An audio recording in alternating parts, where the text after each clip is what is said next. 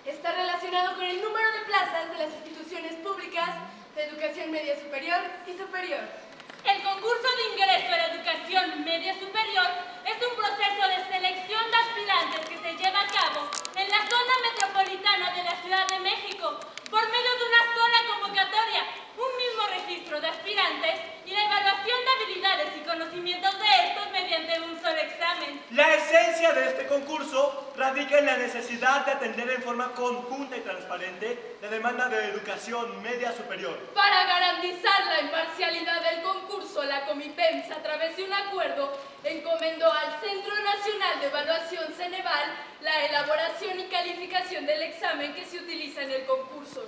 Dicho concurso es el encargado de asignar a los aspirantes en las opciones educativas que ofrecen las instituciones convocantes siempre y cuando cumplan con los requisitos. ¿Y cuándo no? El concurso de ingreso a la educación media superior asegura la igualdad de condiciones a todos los aspirantes durante el proceso de selección, pero no asegura lugar. Los exámenes de Ceneval dejan en claro otro aspecto. La entrada a las prepas es un cuello de botella. Esto es reflejo de los departamentos de planificación, control y evaluación, tanto de la Comipems como de los subsistemas preparatorianos. Las y los jóvenes, después de estudiar la secundaria, deberíamos estar cursando el nivel medio superior. Sin embargo, presentamos el índice más alto de exclusión educativa. 35.4% para el Distrito Federal. Lo que quiere decir que 282.338 adolescentes nos encontramos sin escuela. Así o más cabrón.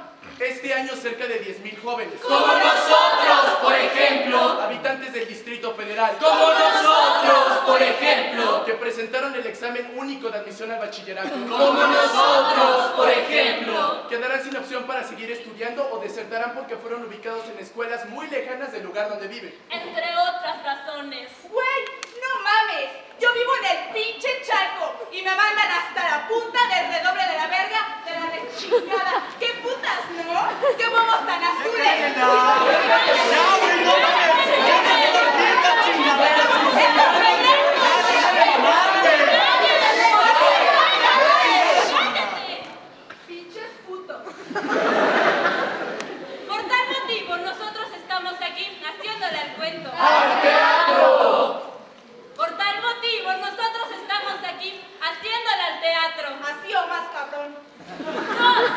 Opciones educativas a nivel medio superior.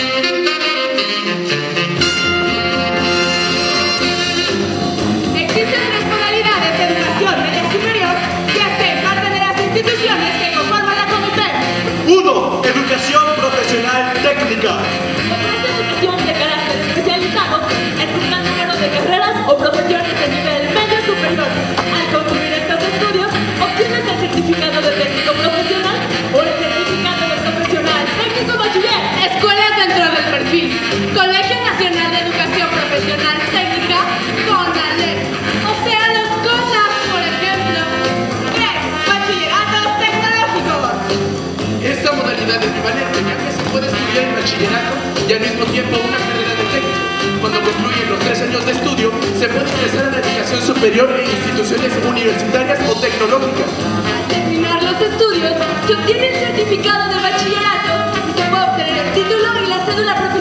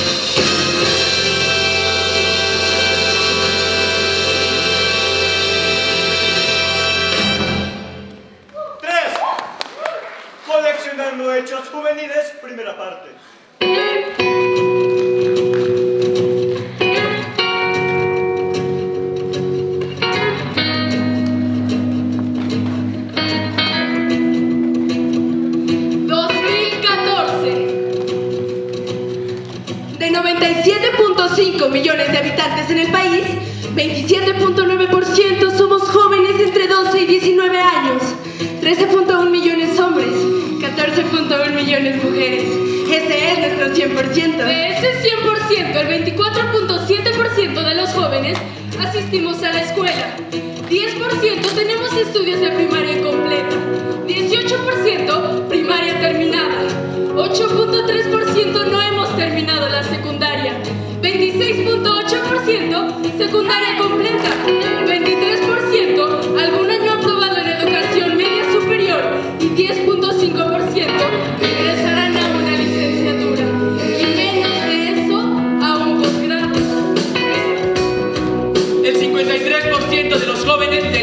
Nos gusta leer, pero no leemos. El 68% aseguramos que no leemos los periódicos por falta de interés.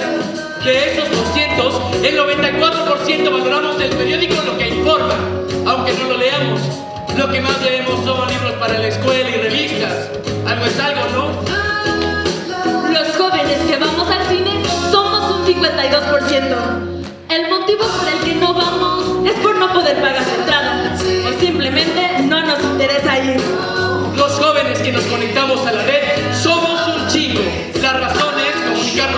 compañeros, ver pornografía, Facebook, Twitter, YouTube, chatear, ligar, correo electrónico, ver pornografía, despejar íntegra y completamente las tareas, tal y como las encontramos en los sitios. Copiar y pegar, pues. Ya dije ver pornografía. Los jóvenes nunca vamos al teatro, pero nos llama la atención. La mayoría de los jóvenes iremos al teatro una sola vez en nuestra vida en promedio y no regresaremos.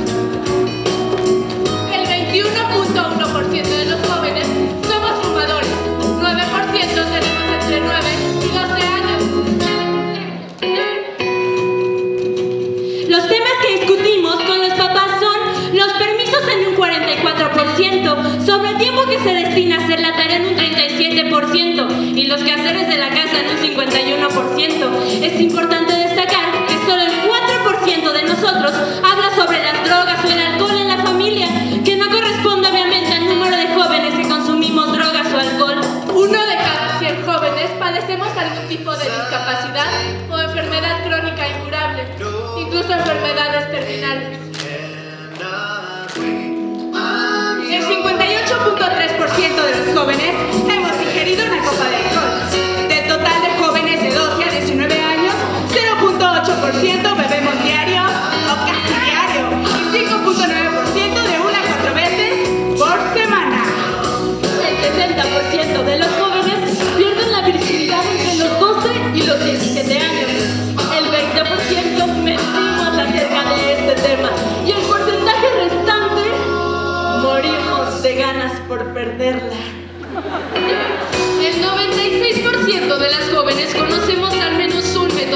anticonceptivo. El porcentaje de mujeres jóvenes que usan métodos anticonceptivos es del 61.6%. En materia del VIH-Sida, es entre los jóvenes de 15 a 19 años donde se registra el mayor índice de contagio, con el 31.1%. El 10% de los jóvenes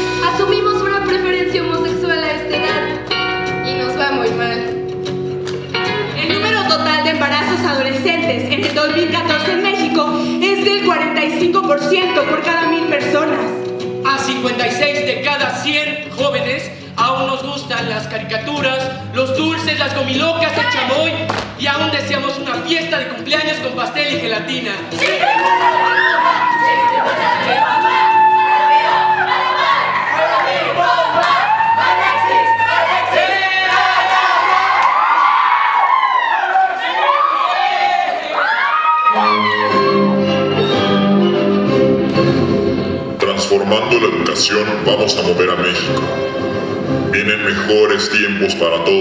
mexicanos. Queremos para México una educación que promueva la inclusión, la tolerancia y sobre todo la paz. Quiero convocarles para que con su capacidad y compromiso hagamos realmente un esfuerzo colectivo para que vayamos hacia adelante. La marginalidad y la criminalización en la que han caído miles de jóvenes desde que inició mi gobierno es producto de una política que versa sobre la falta de estrategias de Estado dirigidas a la juventud. Ser joven en México significa vivir ante la posibilidad de ser asesinado repentinamente. Durante mi gobierno se han registrado 19.000 ejecuciones y 9.000 personas perdieron la vida. Se han matado alrededor de 60.000 personas en los últimos 7 años. Muchos de ellos jóvenes, muchos de ellos inocentes, cuyo único delito fue su juventud. Dejaré que la historia establezca el juicio sobre lo que se hace en mi gestión. Vamos a transformar a México en una sociedad que goce plenamente de sus derechos humanos. Con más y mejores muertes, juntos estamos moviendo a México.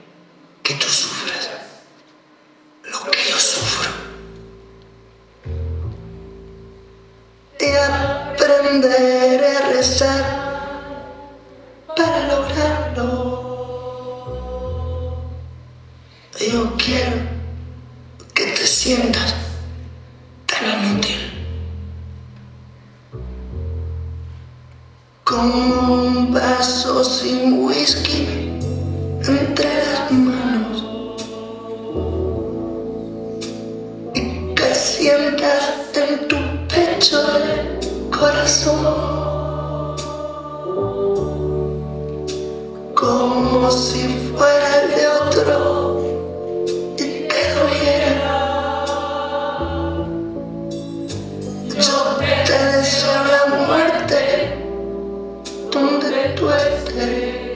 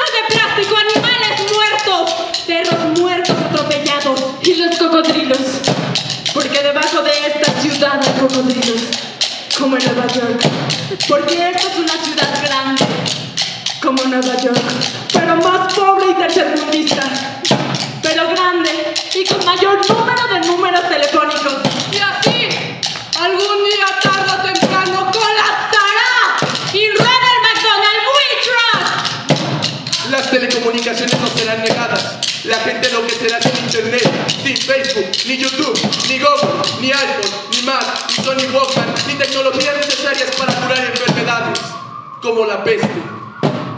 La peste no ha desaparecido. Solo está guardando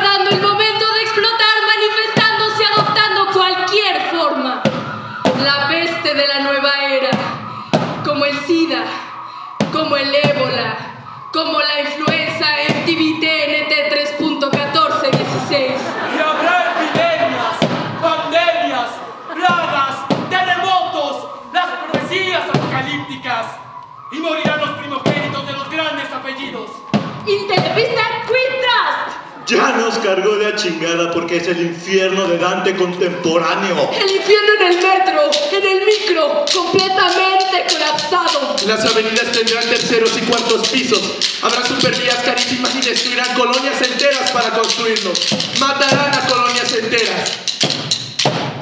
Las avenidas caerán piso sobre piso sobre piso.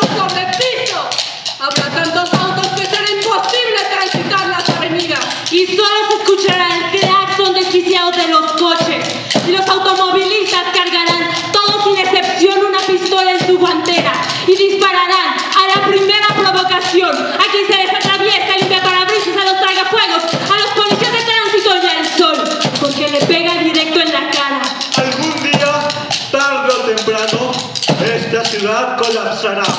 Apoteosis, cataclismo, frenesí, muerte, histeria colectiva, hecatombe, caos, destrucción, inmolación, tragedia, Ya nos cargó la chingada. apocalyptic now, Apocalyptic H1N1.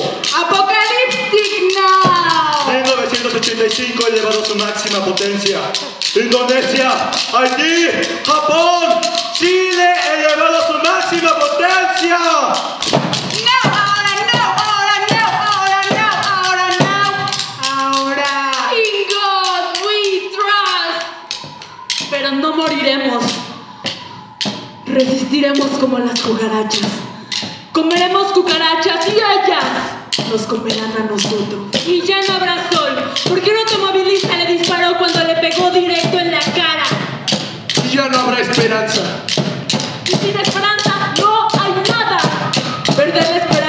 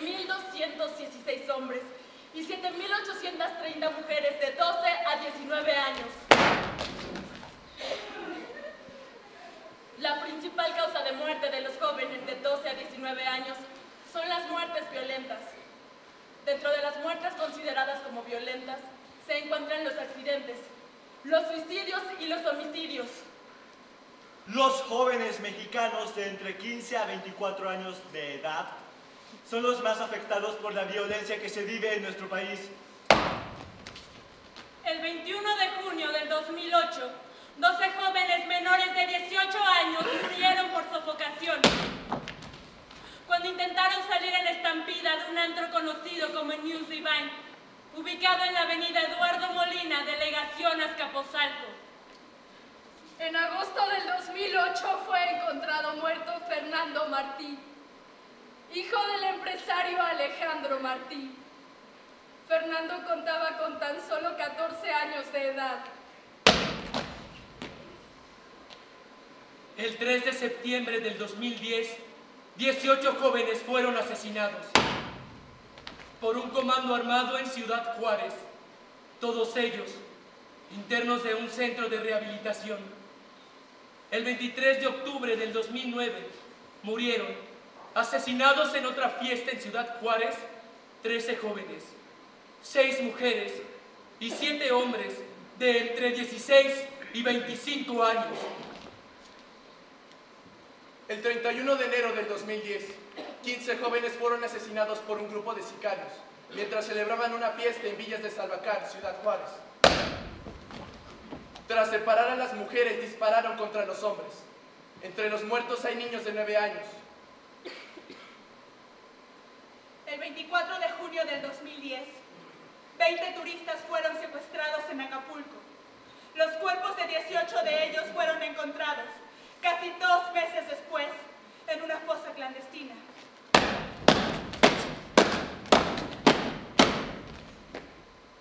La mayoría no rebasaba los 30 años de edad.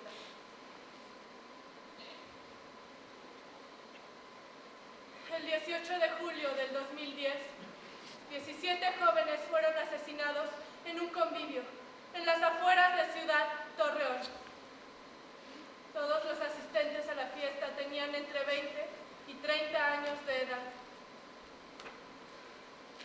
La noche del miércoles 27 de octubre del 2009, un comando armado disparó contra un grupo de jóvenes del barrio de Tepito de la Ciudad de México.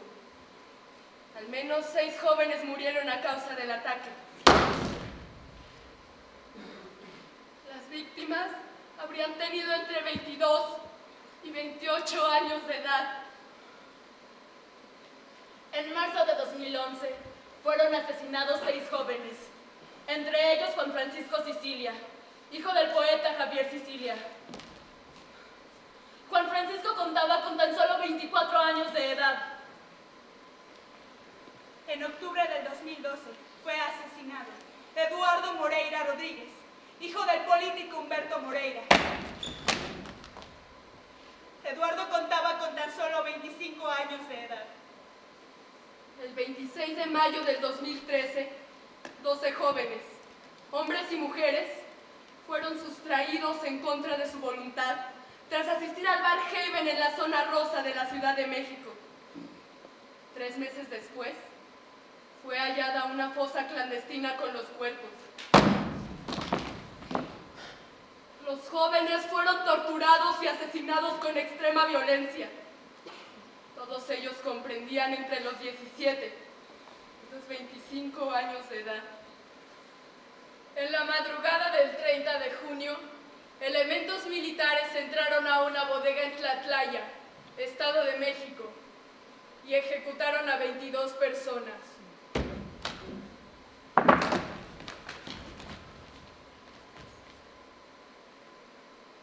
Una mujer relató cómo vio que asesinaron a su hija de 15 años, disparándole 14 veces en el pecho. Las otras 20 personas fueron rendidas. Entre ellos se encontraban jóvenes de entre 12 y 17 años de edad. El 26 de septiembre del 2014, estudiantes de la normal Ayotzinapa, Guerrero, se dirigían a Costa Chica para enviar una comitiva a la Ciudad de México y participar en la marcha conmemorativa del 2 de octubre. Ya en Iguala, por órdenes de las autoridades locales, fueron asesinados seis de ellos. Se encontraron otros 25 heridos y hasta la fecha solo han encontrado a uno de los 43 desaparecidos de la normal Ayotzinapa Guerrero. ¡Uno! ¡Dos! ¡Tres! ¡Cuatro! ¡Cinco! ¡Seis! ¡Siete!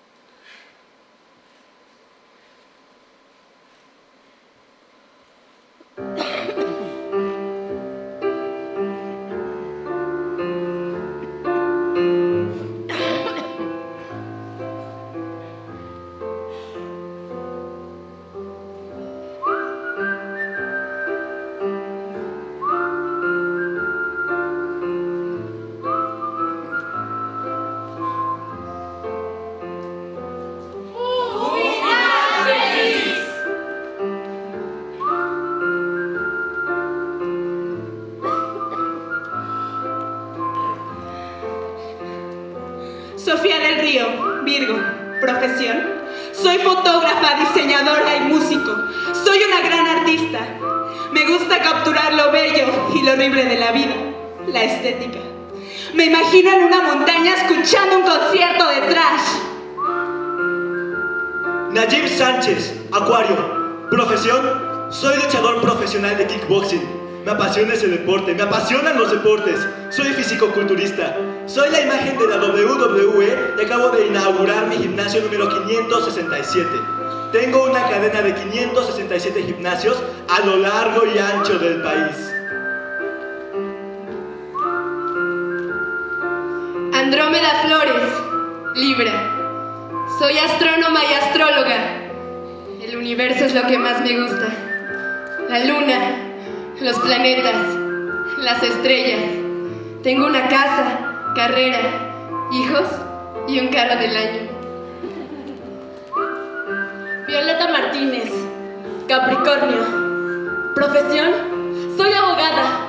He ganado todos los casos que me asignan y estoy por terminar un doctorado.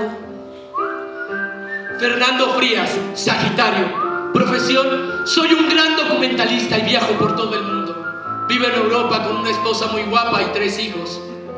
Una Lamborghini y mis hijos son buena onda. Julio Rodríguez, Géminis. Profesión, soy ingeniero automotriz en Ford. Tengo una casa, un auto, una carrera, un gran empleo y estoy viajando todo el tiempo.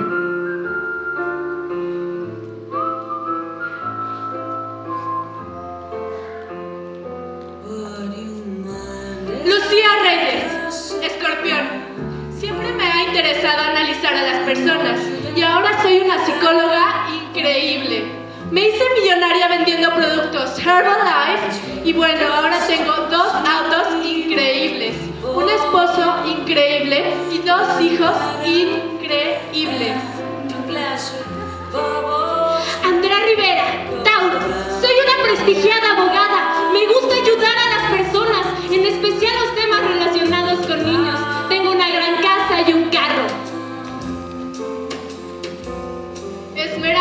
Leo. Soy una gran diseñadora de modas muy respetada en el mundo. Reconocida. Tengo un extraordinario y obsceno sueldo. Y todavía no me caso.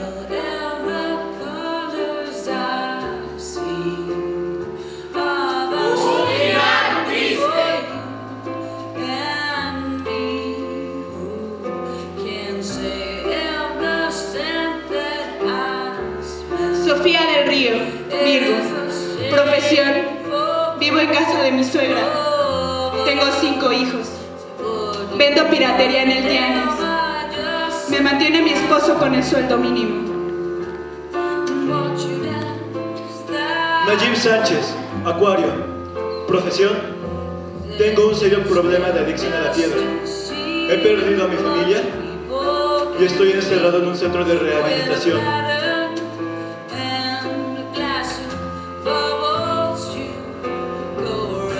Andrómeda Flores, Libra. Soy comerciante. Bueno, trabajo en un mercado. Tengo un puesto afuera del mercado. Es de la mamá de mi esposo. Pero tengo que hacerlo.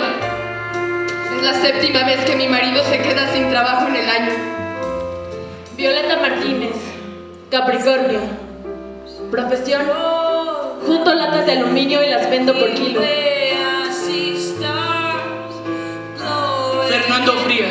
Sagitario. Profesión, payaso de crucero y limpia parabrisas. También le hago el skin sobre una cama de vidrios en el metro. Cuando hay presupuesto o junto dinero, ceno. Julio Rodríguez, Géminis. Profesión, robo mano armada, violación y asesinato. Me condenaron a 78 años en prisión. Apenas llevo 10.